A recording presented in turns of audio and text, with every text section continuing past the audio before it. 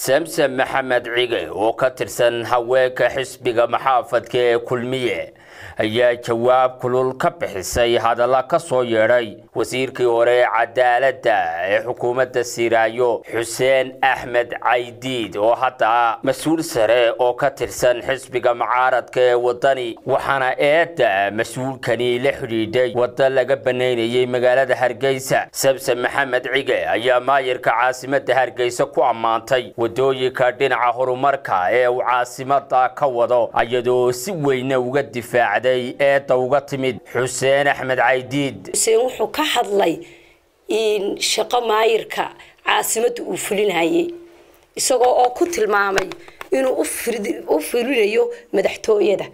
Waxaan leeyahay markaad tahay siyaasi qof siyaasiya markaad tahay eed hogaamiye tahay doonayso ummadan ama macaarid haw maxaafid hawo inaad ummadan wax u qabato maha inaad been ku lugoyso maaha inaad si khaldan wax ugu turjunto. Waxa weeyaan wadadan la furaayey waxa loo furaayay shakhsiyaad looma furin maayirku wuu ku saxsanyay wixii loo doortay buu qabtay. Waxa loo furaayey ciidanka dabdamiska xerada ciidanka ayaa ku taalla meesha. Xerada ciidanku waxa ay ay u tahay seef intaasoo ummada. Wadankeenna maanta waa la ogaayo dabdamis maynaan lahayn marka maanta ay dab meel ka dhaco ummadaas way isku shufbeeli jirtay.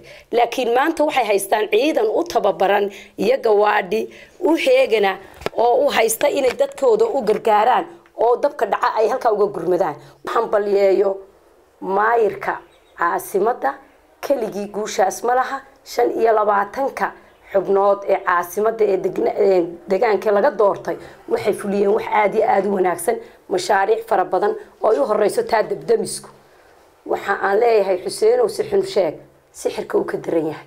Maanta dalkeenu uma baahna inaad saa u ololeysaan waxay ahayd inaad kaga faa'iidaysato abaaraha inta aad siinaysaan caruuraha leedihiin kaale mudaharaadan dhigne miyay dhaqaalaha intaa ururisaan abaaraha ku dartaan dowladdu waa taa ku rafaadsan ee u shaqaynayse. Samsam maxamed cige waxay sheegtay in wakhtigii wasiirka cadaaladda uu ahaa xuseen axmed caydiid cadaaladda si weyn looga dayrinayay waa sida ay hadalka u dhigtaye xuseen wuxuu ahaa wasiirkii cadaaladda halkii ugu sarreysay baa xuseenow ka gaadhay cadaaladda laga gaadho wasiirkoodii baad ahayd waxay ahayd malaha waad ilowsan tahay wakhtigii ay u xumayd cadaaladda somalilan ee qofka laba baloodh doonaya inuu inuu in loo xukumo ee uu mid looga qaadi jiray shaxaad iyo iyo laaluush looga qaadi jiray stagekaasay soo martay cadaaladda somalilan. Maanta waxay taagan tahay meeshii ugu sarreysay ugu wanaagsanayd waxaa jirta wakhtiyada qaar ay isku casileen intaasoo saraakiila oo garsoorayaali faragelinta a guddidii anigu adiga toos ku odhan maayo. Laakiin guddidii aada u ahayd guddoomiyuhu ay faragelin ku samayn jireen ilaa kiisku markuu marayo heer degmo oo ay garsoorayaasha degmooyinka iyo goboladuba ay uga yaaceen. Maxamed ciga ugu dambayntii marwada koowaad ee madaxweyne siiraayo waxay ka difaacday eeda uga yimid sida ay sheegtay xuseen axmed caydiid. Xuseen wuxuu si qaawan oo aan xishmad lahayn oo aan dadnimo ku jirin oo aan ehelnimo ahayn u dul istaagay marwada madaxweynaha.